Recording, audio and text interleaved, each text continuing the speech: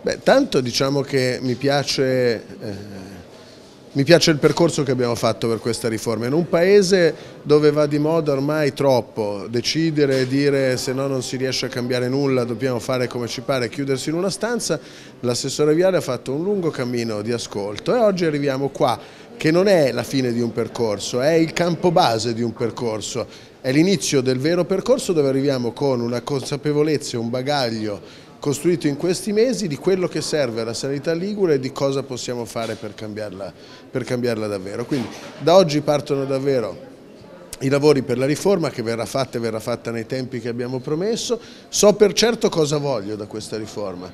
So che voglio una sanità che non debba rinunciare ai propri servizi ai cittadini per i tagli dei budget che si fanno necessariamente, una sanità dove il privato aiuta il pubblico a fare efficienza, una sanità dove la qualità dell'assistenza al paziente sia quella che conta e ci aiuti anche a far risparmiare. Come è noto una buona assistenza domiciliare costa 3, 4, addirittura 5 volte meno di un ricovero.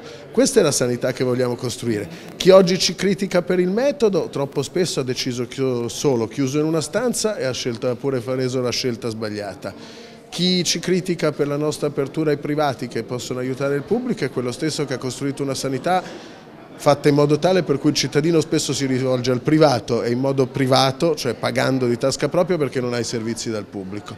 Questo è quello che vorrei dalla giornata di oggi, partire per l'ultimo tratto del cammino con tutta la capacità, tutta la volontà e tutta la consapevolezza accumulata in questo percorso.